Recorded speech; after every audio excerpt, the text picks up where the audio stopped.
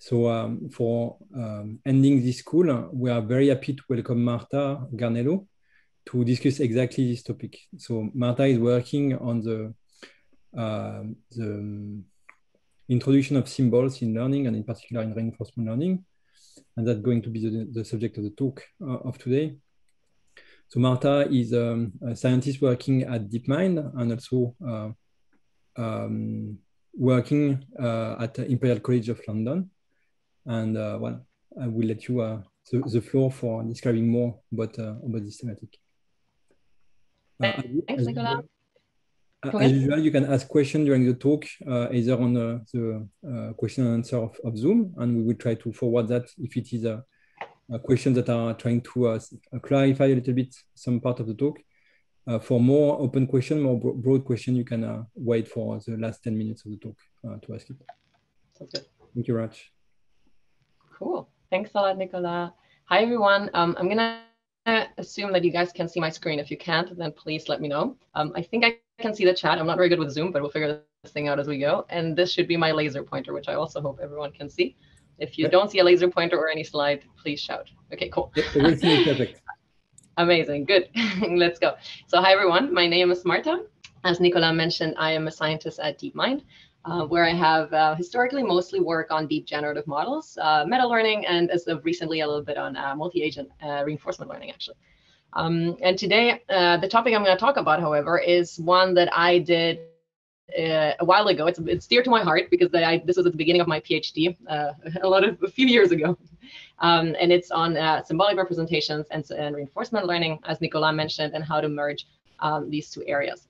Um, a small disclaimer at the beginning: I am not. Uh, I am not. I don't have formal symbolic uh, training myself.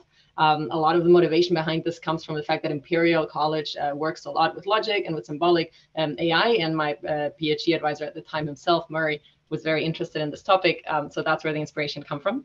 Um, but to start with, maybe let me give you a very small uh, a high level understanding of what symbolic AI is. Um, classic symbolic AI is this framework uh, that deals with uh, symbols, um, as the name would suggest. Um, and it consists of these language like propositions. Uh, uh, that describe data. Um, so these propositions would come uh, would uh, consist of so-called constants. Those would be objects or entities in your data set, as well as predicates that would describe the relationships between um, those constants. Um, to give you a very famous example, here is a, a family tree. Um, and you would could say that the constants of this family tree are the people. So you would have Abe, Homer, Lisa, and so on. Um, and the predicates would be, for example, the relations between these um, people. So, for example, Homer is the father of Lisa. That could be a predicate. Um, you can see straight away that the way you are reasoning with this type of language is at a very conceptual level. So you have ideas such as like father and humans and whatnot, which is something that we don't see a lot in deep learning, right?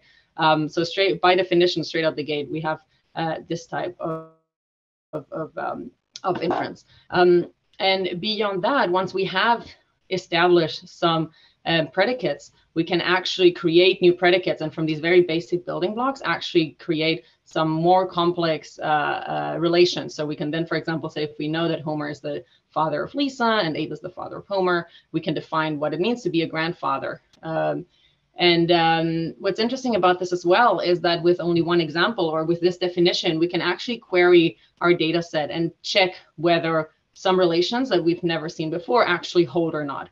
Um, and it should generalize because we're going by these uh, pre-specified definitions, which is really useful. Um, so all of this was obviously, as most of you will know, you uh, used quite a lot in the past uh, and beyond just very small examples like this little uh, Simpsons family tree. Um, two examples here, for example, is that we have on the left uh, a rule-based expert system to give like medical advice. Um, the reason you might want to use some symbolic method here is because symbolic methods, as you saw in the example before, are very interpretable, right? So as humans, especially when it comes to medicine, we want to know why certain decisions were taken. And, and that's why humans often or researchers have relied more on the symbolic methods. Um, you can also do quite interesting things. I was very surprised to find out tasks like uh, uh, navigating the small submarine in a lake, uh, all based on like logic rules and little uh, symbolic uh, manipulations, uh, which looks very complicated but very cool as well. So clearly, this is not just for like simple family trees, and there's some real world applications that we can find as well. Um, so maybe to outline the benefits that um, I've been mentioning about symbolic AI. Um, first of all, as I said, they're very interpretable. Uh, this comes from the fact that we are defining not only what the constants are, but also what the puts are. So to us humans, they're very readable. Um, they also often generalize at this conceptual level of the ideas that we have defined. Um, so as I mentioned earlier, if you define what a grandfather is, you can then generalize to new pairs of people and ask whether or not they have this relationship or not. Um, and then finally, there is already a very broad literature of well-established solvers and planning algorithms and so on um, that we could leverage if we manage to move more into the realm of symbolic AI. Uh, some of the downsides, and I'd say the biggest, is uh, the fact that the knowledge needs to be handcrafted. So as I mentioned, both the, uh, the constant as well as the predicates are defined by hand in advance.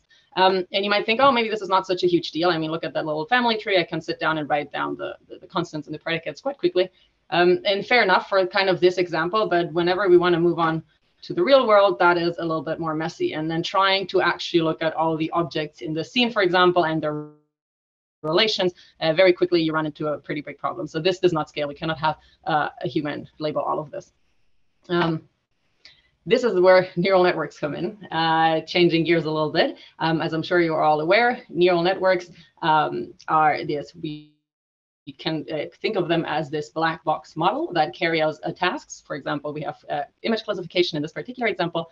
Um, it's a parameterized the function approximator, and we're gonna, in the parameters for this model are gonna be updated automatically from the data using gradient descent. So we don't have to handcraft anything. We don't really care what that black box model in general looks like, as long as it eventually gives us the right answer for our training and, our test set. Um, maybe to compare a little bit neural networks what the downsides and the benefits of these like neural networks and deep learning are. Um, maybe start with the downsides. Uh, as uh, because we're not really constraining um, the space of know, the, the representation space of neural networks they are usually not really interpretable because why would it fall out automatically? Um, in general they've been shown to not generalize very well almost at any level like neural networks are quite brittle. Um, and they're hard to co uh, combine with these well established solvers and planning algorithms that I mentioned earlier because they are not working at the symbol level, right? Um, one of the, well, deep learning, as you might have heard, has a lot of benefits, of course. I'm not going to go into all of them. Uh, but one of them, of course, is that the knowledge doesn't have to be handcrafted. So we don't care what the representations look like because the, the parameters are updated by themselves. Um, and of course, many other benefits. So if we look at this very specific list that I picked out of uh, downsides and, and, and uh, upsides of both symbolic learning and deep learning, uh, they seem to be complementary in at least these aspects. Uh, obviously, there's, uh, of course, more to them. Um, but this begs the question if we could somehow bring these two worlds a little closer together, right? Can we still have interpretability, uh, use them with like known planning algorithms, have a generalization data efficiency that is good for learning, um, but at the same time not have to sit down and handcraft everything and learn from data the way that deep neural networks would. Um, and this was the motivation for our uh, paper uh, a while ago, uh, which was called Towards Deep Symbolic Reinforcement Learning.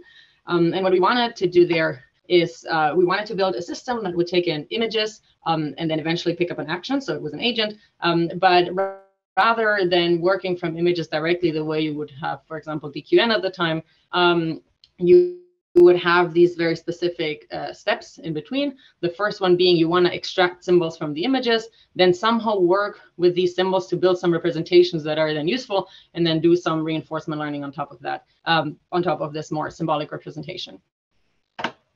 Um, just to maybe show the environment before I go into more detail of the model, this was very, very simple. it was this 2D environment with very basic shapes. Uh, we had an agent, which is this uh, cross here in the middle. That's the agent. And the agent is the only uh, object that is moving in this environment. So everything else is static.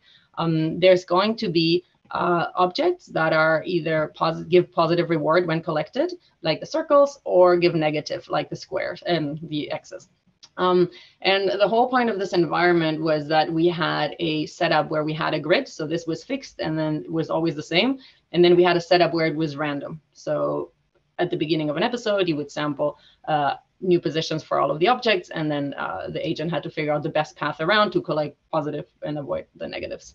Um, and we wanted to show that um, that being able to uh, reason at this object level would make for a faster generalization than just doing it from scratch from pixels with DQN.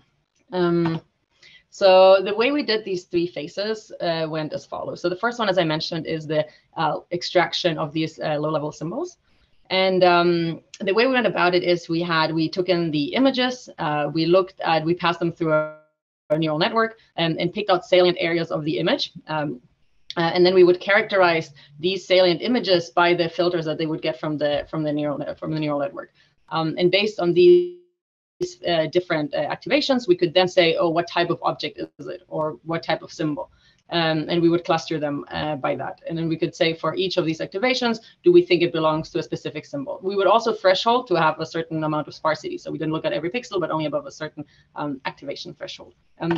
So this would give us a list essentially of the position within the image, which we had from the convolutional position, um, as well as the type, which we had uh, acquired by um, um, comparing the little uh, feature spaces. Um, bear in mind that the in, in our particular case, because we are not uh, actually explicitly asking for individual objects, uh, one object might, for example, have two activations, right? So we're not saying that one symbol here corresponds exactly to an object, but they would be consistent across time, right? So every time you say a circle, you would see two of those symbols essentially of whatever type. And as long as the types are consistent over time, then that is actually fine. We're not making any claims as to if the symbols are actually specific objects in the real image. Um, so then with these representations, uh, there were a few steps that we needed to do in order to make them a bit more useful. Um, firstly, we wanted to bake in the notion of continuity across time. Um, so we had to track them essentially, right? So we knew in a specific frame what types and what objects are there with what positions, and then how do we match them to the next frame? Um, and we would do that by uh, comparing different distances and so on. So this was also a bit, uh, uh, we had a specific threshold and hand coded. Um, and then rather than looking at the absolute positions, we would actually look at the at the uh, differences between all of the um, uh, pairs of objects, which is very similar to what uh, relation nets are doing, and we'll, come to them in, in a little bit. Um, so with this, we would essentially have interactions between two specific objects, between every object in the image or whatever it found, but uh, whatever object it found, we would see how the interactions change over time. Um, and with this, we would pass this to our uh, reinforcement learning agent and learn from these like higher level symbolic representations. Um, and what was interesting is that we had as a baseline, as you can see, we had DQN. Um, and in the grid environment, so whenever it was fixed and all it had to do was just move the same way, uh, DQN would completely destroy us. Obviously, DQN very quickly in very few iterations would learn how to behave uh, perfectly my algorithm, which would obviously sometimes not pick up the, the symbols and uh, perfectly, uh, got just about 70%, um, and it never really reached fully 100%. But uh, what was interesting is that when we then switched to the random environment, uh, our algorithm and mind the different y-axes um, got to the exact same performance almost at the same time as in the grid environment, whereas DQN took a lot longer to take off.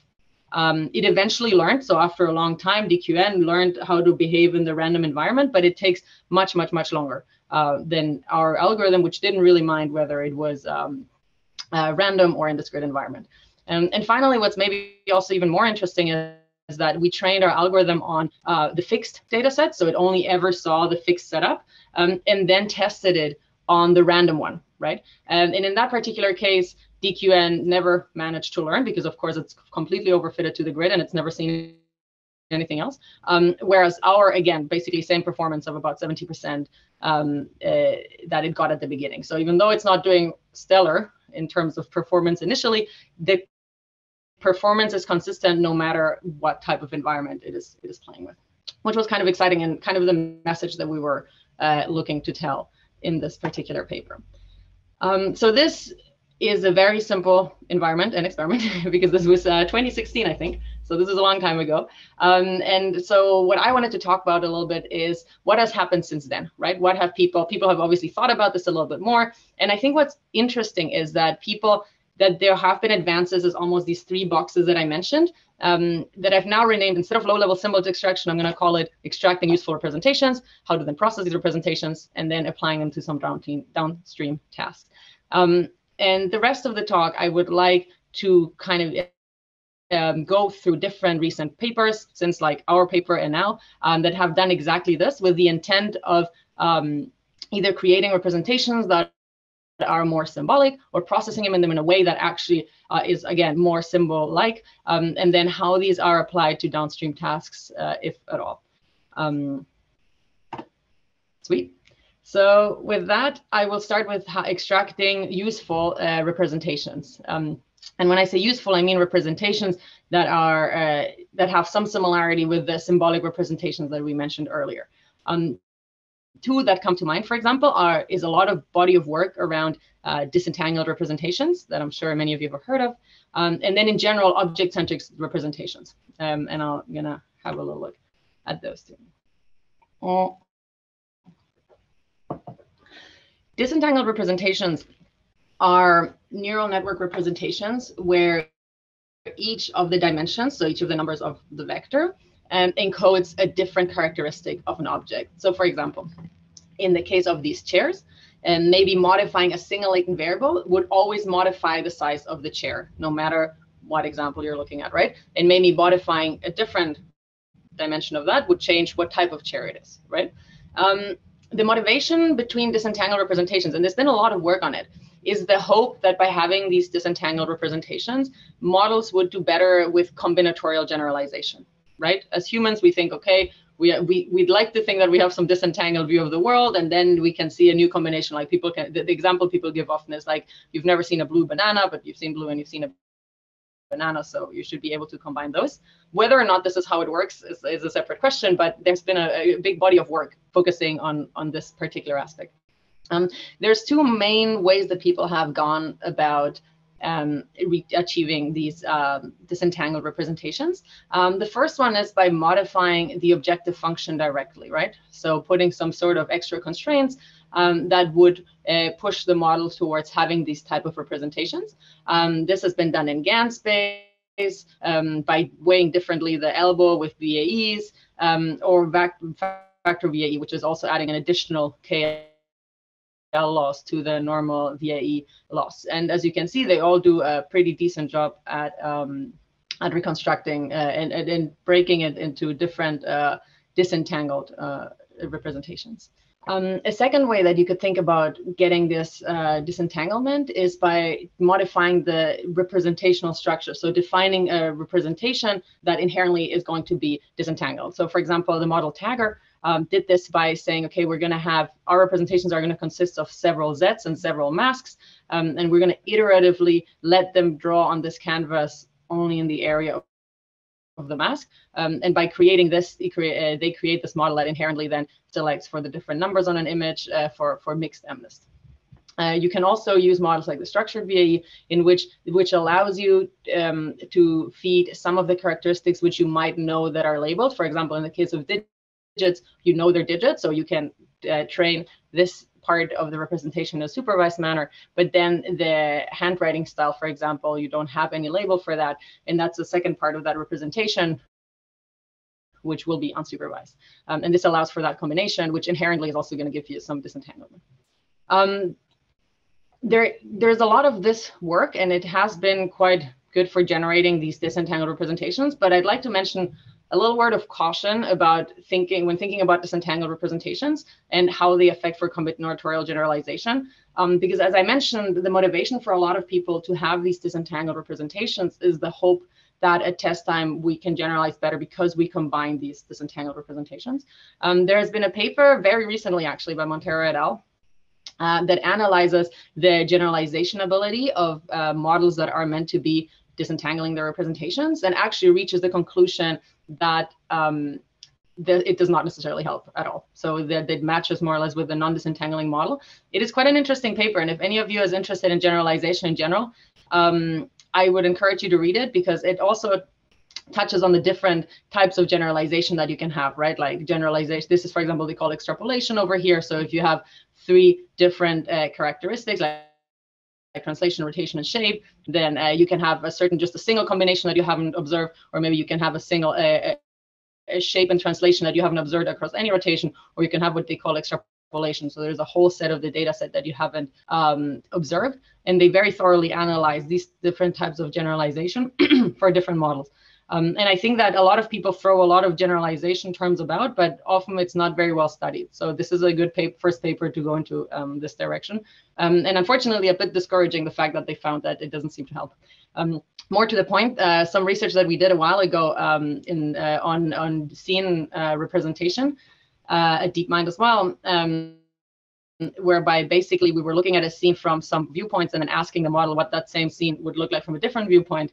Um, that also showed that we were able to do this combinatorial generalization pretty well, even though we did not have any constraints on the representation to be disentangled in any shape or form. Um, but it was still able to, having only seen spheres and only seen red objects that are never spherical, to then reconstruct red spheres. Um, so whether or not this disentanglement is necessary or not um, is a question that is still a bit up in the air.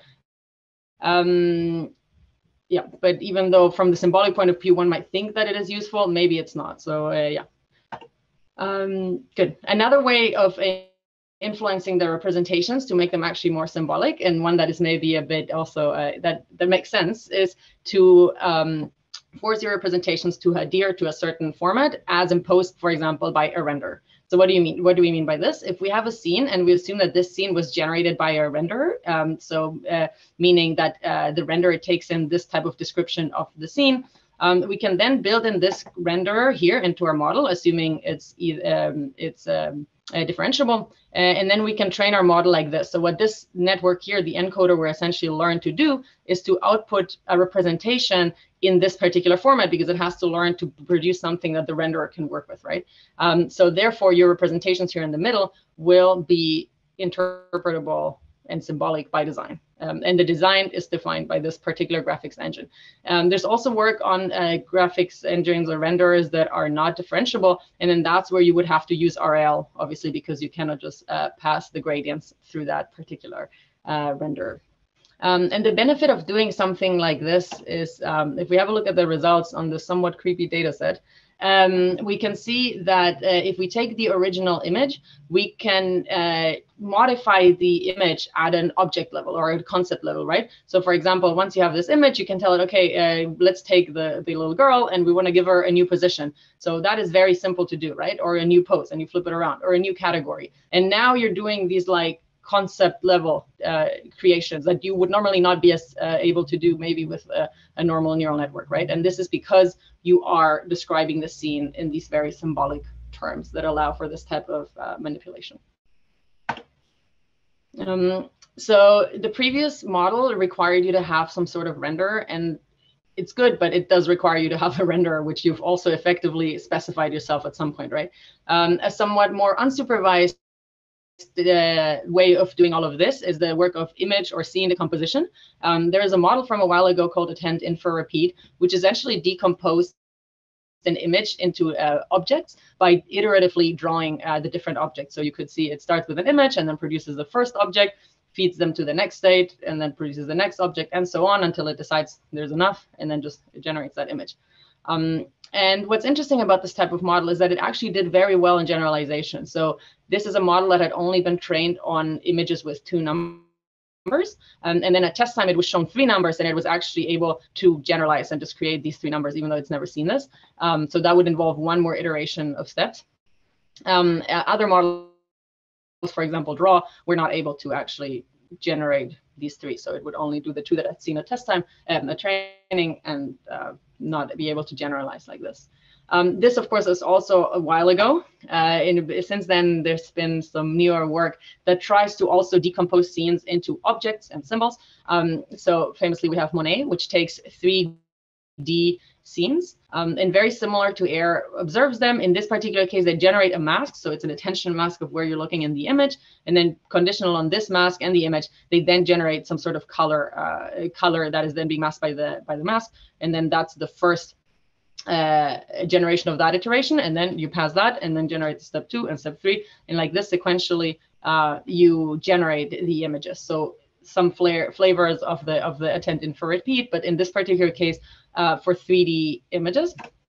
And what we could see is that the representations that we obtain here are very much like object based. So we see there is like the walls, there is the ground, and then the objects that it has found um, after masking, uh, which is really cool. So this is very similar to what we were trying to do in that first part of the of the model, which is extracting objects, extracting symbols.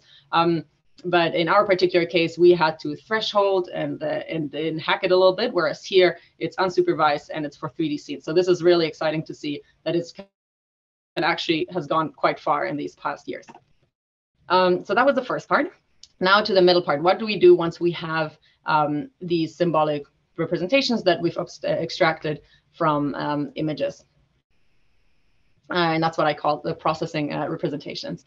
Um, I'm going to mention a few. Obviously, there's a lot of stuff you can do, um, but a lot of some ideas that are reminiscent also of what you would do in, in symbolic learning. So there is uh, relational nets, which very similar to the predicates look at the, the uh, two symbols and then kind of uh, uh, process that.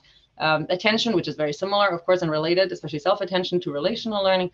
Um, and then what happens if we, on top of just looking at a static image, if we're actually looking over time? Um, and this is what in our model, we were actually taking the difference between frames to kind of accommodate for time. But nowadays, there is very smart transition models that actually do a better job at doing this automatically. Um, so I'll start with uh, relational uh, networks. Uh, for those of you who have not heard of them, um, they were published a while ago as well. And essentially what they do is you take in an image, um, pass in through a convolutional neural network, um, and you get uh, very similar to what we were doing essentially. You get for each of the convolutions, you get essentially some sort of uh, vector that describes uh, the activations. Um, and then with this vector of activations, you then concatenate all of the possible combinations between the rows of this vector, essentially. So you would get uh, this kind of square matrix, and then you pass each of those through MNLP. So what you're doing here is essentially you're forcing every part of the image to be combined with every other part. So obviously this scales quadratically, but uh, usually for images, that's fine. Um, and what this is particularly useful for is for tasks that require relational uh, reasoning. So they applied it to the CLEVR data set. As you can see here, it's a data set that contains images of uh, 3D scenes of objects uh, that contain that are either like the spheres or cubes um, of different colors and and, and textures. Um, and then there's a question associated with um, with these images. Uh, so for example, in this case, what size is the cylinder that is left to the brown metal thing that is left of the big sphere? So as you can see, a lot of relational thinking. You have to look at what is next to what and so on. Um, and as you would expect, this type of architecture that very specifically assumes, it doesn't take symbols the way we did, but it assumes that every patch in the image is treated almost like a symbol. Um, and uh, it does particularly well. So what you're looking at here is uh, the accuracy for specific tasks. Um, but what I, where it excels the most really is when you're looking at uh, comparing attributes of objects. So down here, if we're looking at comparing the size, comparing shape, and so on, um, the relation net is this yellow bar here. Human performance is gray, so often it even outperforms humans. And then other models that are just basically based on LSTMs and whatnot, very simple, without enforcing this uh, this uh, relational combination, um, actually do quite poorly on these particular tests. So what's interesting again is that this informed decision to add this bias to this to the network architecture that is very reminiscent of this predicate combination um, has helped to actually perform, drive performance of, of the model. Um, related to this attention and particular self-attention, I wanted to mention it because it's very similar actually to relation networks. Um, this is what I was showing earlier about relation networks. Um, this particular uh, box here is whatever you would put in here. Um, and attention is essentially the same, but instead of actually combining every single element in the in the uh, vector with itself, you would uh, have basically pass them through MMLP, matrix multiply them and get some type of weight matrix that tells you how much each of the rows is attending to every other row in that same vector. And then you would again just multiply this with here. So it is conceptually actually very similar to here because you're again having all to all comparisons. Um, but in this particular also you have this multiplicative interaction here, which is actually has been shown to be very crucial for the expressivity of uh, attention models and the reason why transformers are basically as good as they are.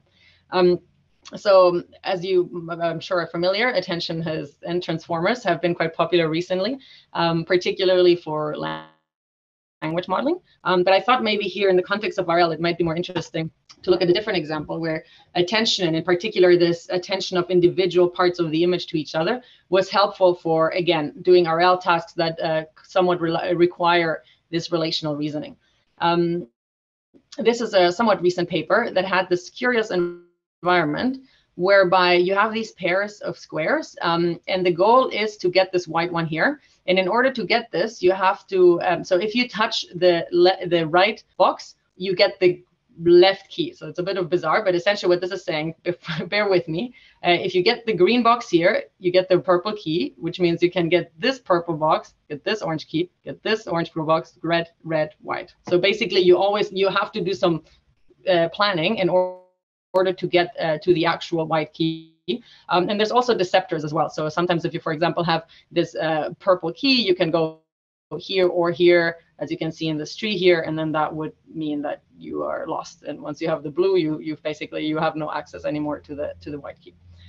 Um, with this environment, what they showed with this type of planning is that uh, they compared this, what they called relational, which is again, just mostly the self-attention model uh, versus a normal baseline that was again, just a, a, normal or the same exact RL agent, but without this attention at the front. Um, and it did much better when generalizing to longer solution paths. So when you actually had to get a lot of different keys, um, whereas here the performance deteriorated very quickly.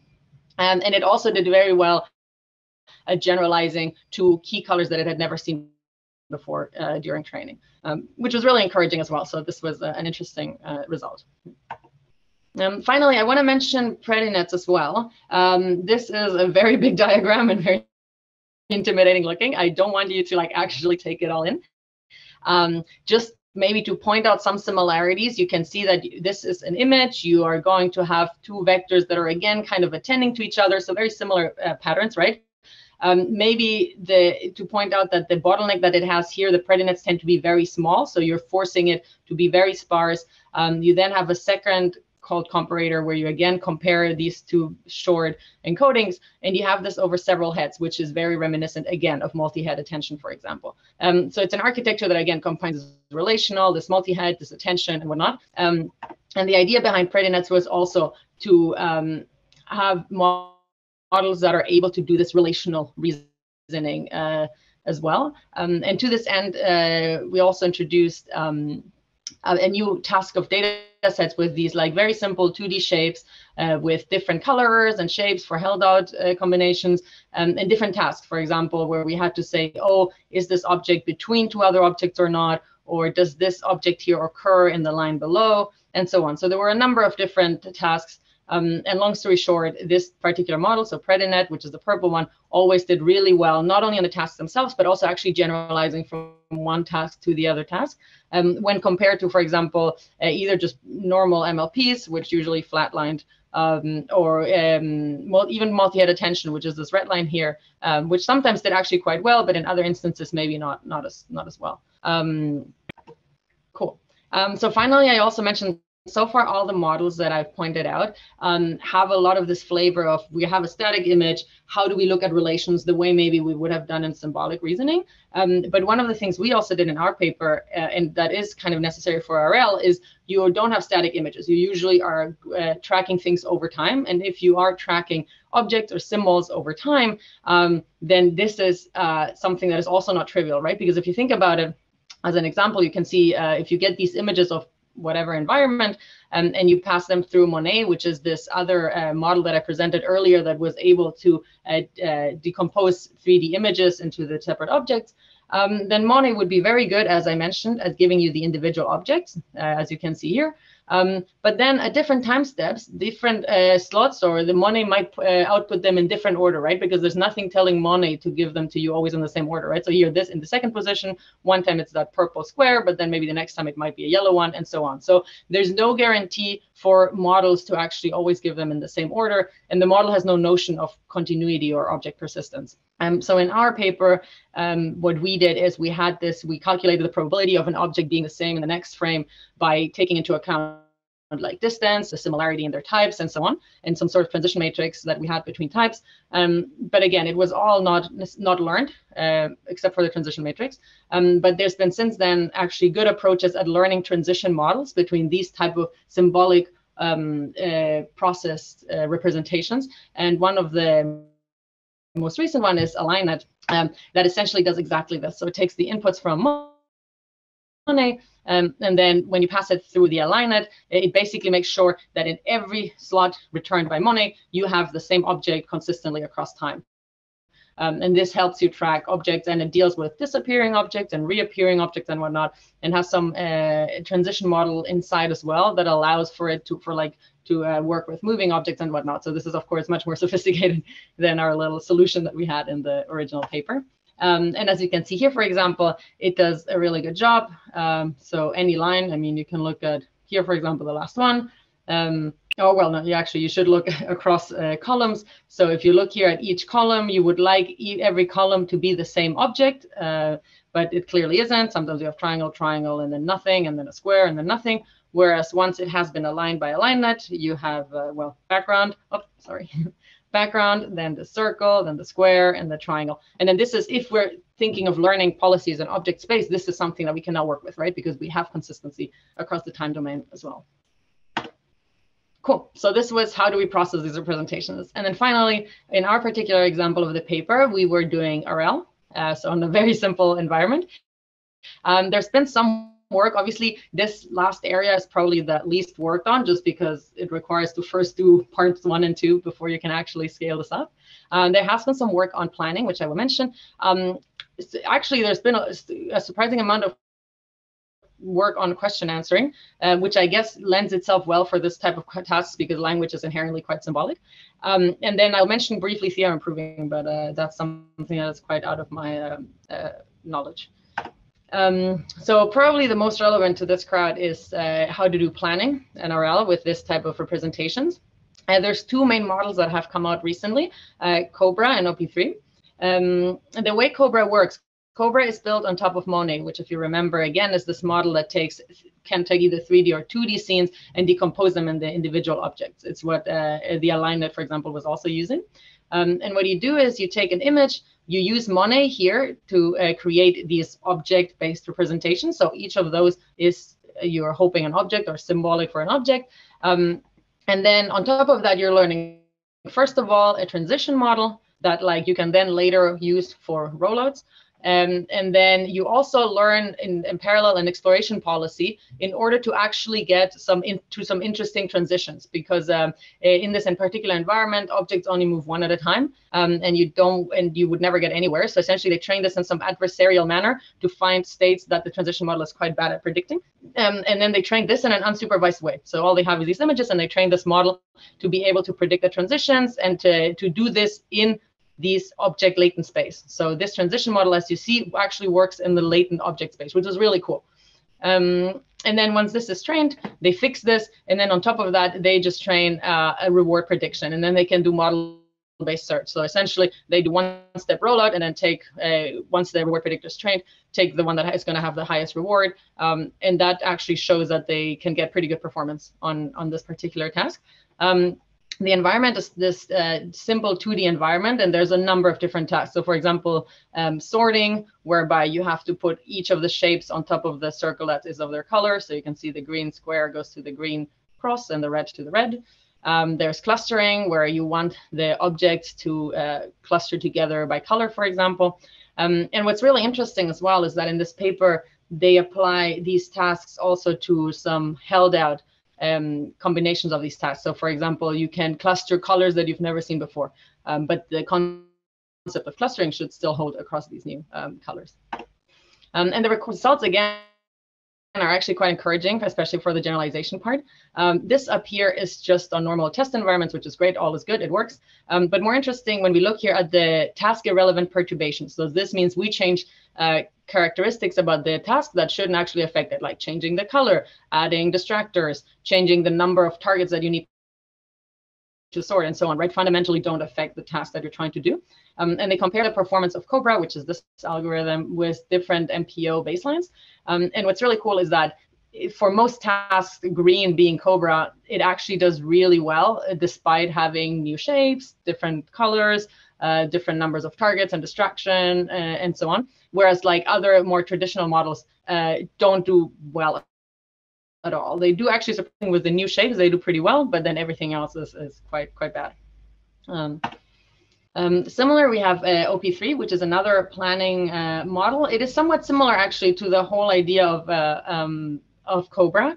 Um, and essentially, again, this looks quite intimidating, but all you're saying is you have these H's which stand for the different objects, and you have an action, and you're trying to learn this transition model whereby each object is going to be influenced by an action, then it's going to relationally look at everyone else. So this, again, very reminiscent of attention and relation learning. And then that is going to be added on top of your object. So it's an update on your on your object, and that just gives you a transition model for the objects. Um, and they show on this actually 3D environment, which is really cool. They throw that they show that um, if they start from this initial image, for example, and then the task is to um, have the agents move the blocks to this particular uh, uh, position, that theirs, which is this last uh, column over here, does really well. And you can see that this final row always matches with the second, which is uh, what you would want to be the case. Um, whereas other baselines are not as good as, as, as doing this. Mm -hmm. Oh yeah, um, I mentioned also maybe a bit less related, uh, visual Q&A. Uh, in particular, neural symbolic VQA, I think is a cool example of neural uh, uh vision, uh, visual question answering.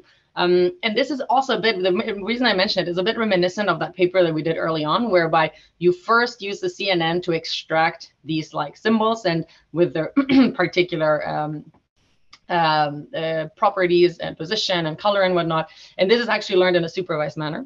Um, and then in a second step, you actually use this to then learn how to, uh, in this particular case, answer questions. Um, and the way that this is done actually, and this is again, the, the second part is the RL part, is you're using uh, reinforce to, given a question, generate a program. So there are certain actions that this uh, our agent can take um, sequentially, and then it learns to output a, a, list of actions that it has to do in order to find uh, the right answer to this to this question. Um, and then essentially it gets a mix of the properties that it has been trained on, it gets the program, and then it has a program executor, and then it gives you the answer. So this is also a bit similar to what we said earlier with the uh, renderer, where you have built in a pre-built program that you're executing, and that kind of also dictates what your inputs produced by your network uh, are meant to look like. Um, and this looks works actually really well. They've tried it on this uh, Minecraft environment. Um, and for example, you're given the question, what direction is the closest creature facing, which I guess is this one. And then you say, okay, take the scene, filter a creature, filter whatever's the closest, uh, and then if check if it's unique, and then query the direction, and it tells you left. And then the program gets this uh, particular uh, set of uh, commands, and then actually can provide the answer, which I think is also uh, really cool. Um, finally, I wanted to just mention uh, theorem proving and logical reasoning because obviously maths and logical reasoning is inherently very symbolic. And there has been a lot of work as well into trying to use deep networks to either use differentiable proving or to like do logic or using neural networks um, uh, and so on. Um, that is a whole line of work which is actually really fascinating. I'm not going to go into it today, but if you're interested, there's a, a big literature out there on that as well. Um, cool. I think I'm also, haha, perfect, almost on time. Uh, just a quick summary. Um, there is some intuitive, and I guess there's also at this point experimental evidence that machine learning algorithms could benefit from uh, operating in this more symbolic space. Uh, there has been shown that it's definitely good for interpretability because it's something that we as humans can definitely deal better with. Um, it has been shown to sometimes help for generalization and robustness, uh, not necessarily maybe just in the case of disentanglement, but in general, working at this object level space. Um, and it also has been shown to be more data efficient um, than just working in pixel space, for example. Um, I think one of the biggest challenges that is still remains is that really having a formal definition of things like objects or even concepts um, as well as even like really thinking about these different types of generalizations, it's still a challenge. I think there's initial steps towards actually doing this, but it's of course very, very, very complicated to even define what any of these very complicated notions and ideas are, right? Um, and I think that that will be a necessary first step that we need to take. Um, and I think there's slowly work going in, and it's quite exciting. But uh, yeah, I think we're early, early on in this very long journey. Thank you. I think that's the last slide. Yep.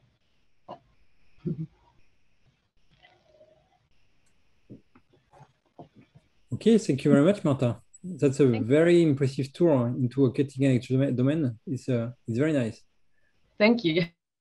um, so uh, I'm I'm not super uh, sharp on on this domain, so I'm not sure that I would be able to forward the best questions and uh, with the, the, best manner. Um, but I, am going to try. Uh, so maybe uh, going upside down, uh, a first question would be about the scalability of the of the method that you are you are providing. I mm -hmm. read the question. Um, how do these uh, unsupervised object-based scene decomposition models work on image with a little bit more complexity, uh, like uh, uh more complex object, uh, more than 3D shapes, and mm -hmm. they generalize in the in the presence of um, uh, occlusion? Yeah, that's a great question. So, um, okay, so I'll say firstly, um, in, in in general, things like occlusion and lighting actually usually help um, if you have the right data set. So if you actually have a 3D environment where things occlude each other, but you have views from different viewpoint, that actually has shown to help the models understand about what it means to be an object, right? If like something is covering something else, and you get more of like a perception of depth, for example. Um, in general, it's very, very, true that at the moment, all of these models, as you could tell, uh, work on these very simplified 3D shapes, um, which is a bit unfortunate, but I guess it is hard to scale up particularly small details um, and also to get data sets that would support this amount of detail. Um, there's some interesting line of work right now popping up a lot with around, I don't know if you've heard of NeRF, which are neural uh, uh, radiance fields, uh, which are um, able to reconstruct images from different viewpoints, very realistic images, so it's like the Taj Mahal and whatnot, um, from different new viewpoints and people are now trying to use that for inference. So that could be actually quite interesting if you can have like these very high resolution images and carry out inference on them. Um, but it is true that at the moment with the methods we have this is probably at the moment where we are at in terms of uh, ability to infer and reconstruct loads of tiny details. Yeah unfortunately. I don't know if that answers the question by the way. I'm happy to. I think it's a pretty competent answer. Thank you. Um, so Bhavin Choksi is uh, asking, um, have people tried discretization, quantization instead of de-entanglement? Sorry, it's a word that I'm not able to pronounce. Mm-hmm. Uh, whatever the, the number of time I, I, try to pronounce it. Do you have some uh, intuition whether this would work or, or, not, discretization or quantization? I'm not sure of what. Uh, mm, yeah, yeah, yeah, yeah, that makes sense. So, uh, oops, okay. Um, then um, okay, let's get started. That was the doorbell. Um, so yes, discretization. Yes, so people have definitely thought about uh, one one way. Okay, that the world is divided, especially in the symbolic uh, realm, is as you mentioned by discrete entities. Um, discrete variable models have been historically quite hard to train. People have tried to train uh, discrete variable models, and um, also with representations that are partly discrete, partly not discrete, and so on. Um, inference on those models tends to be quite hard, which is, I think, why people often do rather this iterative thing rather than the discrete thing. Um, also, because often it's not, not clear if you discretize, for example, color objects, what an interpolation between these discrete variables would look like, right? If you interpolate if like one is chair and two is table, then what if, if, if there's no meaning going between one and two, right? Um, so it's not super trivial how to discretize spaces as well. Um, but definitely a lot of people claim that it is actually ultimately necessary to have some sort of discreteness in your in your data, if that makes sense.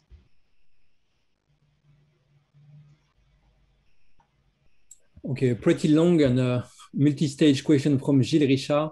Um, do you generate, extract only binaries pre predicate, or can you extract more general predicate? Like um, uh, predicate like under object A and object B. Uh, object A is under object B. Uh, or can you generalize that to predicate with several uh, several um, inputs, bread of A, B, C, D, etc. Mm -hmm. um, so in this particular one, we were just looking at binary in, in my paper from ages ago uh, we were just looking at like uh, the binary uh, interactions mostly because we also the, the environment only required that because the only thing really moving was the agent right so you didn't really need anything more complex for that particular environment.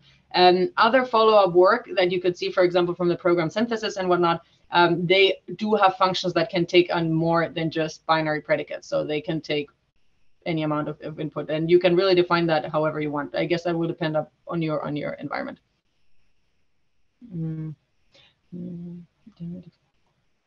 Um, maybe the next question is do you generate exact function symbols usable in your predicates um, i don't know what can you clarify on that apart from list operator and then uh, thanks for pointing out william cohen i'll check him out thanks yeah, it's difficult uh, to, uh, to have a real-time interaction uh, through this. Uh, yeah, yeah, yeah. We, well, we maybe reaching the limit. Of, a clarification to two, then uh, if you, then I can have a little look at that. Okay. Uh, I, I, think uh, um, the, the next question is uh, raising very interesting topic. Do you see any way of removing human intervention from this process, or do you think it's fundamentally incorporated? I think there will always be some incorporation of human intervention, mostly because we are trying to, it, it, depends a bit what we want, but if what we want at the end of the day is to interact with these agents and to make them interpretable for us, then inherently we have to be part of that process, right? Because there's nothing in the world that necessarily has to by chance fall into the, our way of kind of thinking about things. Um, so there'll always be a human in the loop. Um, I guess what we're trying to do is to minimize the amount of what we have to do, right? So rather than, for example, sitting down and like labeling a huge data set by hand, can we add some biases to our model that will then uh, e make it easier for us to understand what's going on or to understand, to have better representations, right? Or think of a training regime that actually gives us certain uh, uh, uh, results with certain properties and so on, right? So I think that's the trade-off that we're kind of thinking about. But ultimately, we will have to uh, design a lot of these things for them to be compatible with our way of thinking. I think. In what you presented, I understood that there is a, a clear separation between uh, the the part that is trained to produce symbols and then the the task that is uh, mm-hmm. using the symbols to drive the the behavior mm -hmm. of the robot, in particular in uh, the, the, behavior of the agent, in particular in the domain of uh, reinforcement learning. And then, as you mentioned, clearly there is an issue in terms of generating a data set that is huge enough to generate the right symbols. Mm -hmm. and, and clearly reinforcement learning is, is there uh, for, for this reason why uh, when, when we don't have the, the right data set data set are not big enough we let mm -hmm. the agent to uh, to live his life and uh, and mm -hmm. collect data and then we can improve the behavior of, uh, of the agent mm-hmm. through the data that collecting do you see any any um, any direction for that, for, for the RL to be done in the loop of uh, training symbols, uh, yeah. being able to, uh, to, to get more symbolic extraction from mm -hmm. the mm-hmm. behavior of the agent, maybe uh, possibly having a, yeah. a, a, numerical RL first, something that is not working with symbols first, and mm -hmm. that uh, while time is going, uh, start to trigger some recurrent symbols and improve and uh, strengthen yeah. the behavior of the of the through symbols? Um, yeah, I think that's a great question actually, and I think. I mean, if we look at humans, and again, I'm not claiming that I know how the human body works, but in general, one could argue that we are also learning as we go, right? As we learn our generative models, we're also already acting in the world. Um, I guess the question there is how do we design a reward um, that allows us to learn these symbolic representations, right? How because the, the reward usually of a task is very sparse and, and if it's particular to a task, then it doesn't necessarily conduce to like learning, for example, a particular set of representations, right? Um, in addition, often uh, what this means is that uh, a particular set of representations will be very overfitted to that particular task, right? So if we want to learn some general symbolic, we might have to learn, we could do it as part of some sort of RL training, but we might would have to make sure that the reward signals we're getting actually guide us there, right? So you could argue that as a human, we have loads of different rewards driving our predictive behavior, our interactions, and so on and so on, uh, rather than just maybe something as simple as get food, which could be seen as one, right? So I guess what that would then involve is actually designing a whole set of rewards that through RL guide us to the symbolic representations, which of course would be ideal, right? Because then we could say, yeah, you're learned within the environment that you want to do it. Um, and the question is whether we have the right reward and the right environment, I guess, and the right agent, all of it.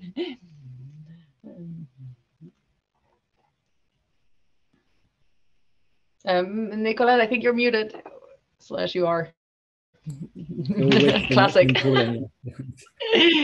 um, so while you were answering the question, we have uh, Leslie Kaelbling that uh, just connected. Uh, so we are just finishing the question se session of, uh, of Marta. Um, maybe just a, a, last question to finish.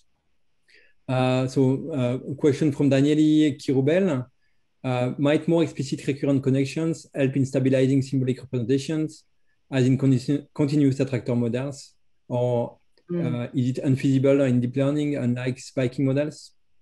And yeah, nice, uh, uh great talk to finish the question. Oh, thank you. thank you. Um, that's a good question. So there has been a lot of work, and actually in my former lab, I should really know more about this. They did a lot of the, particularly attractor networks and recurrent networks. Um, it hasn't really gone off the ground yet, and it might.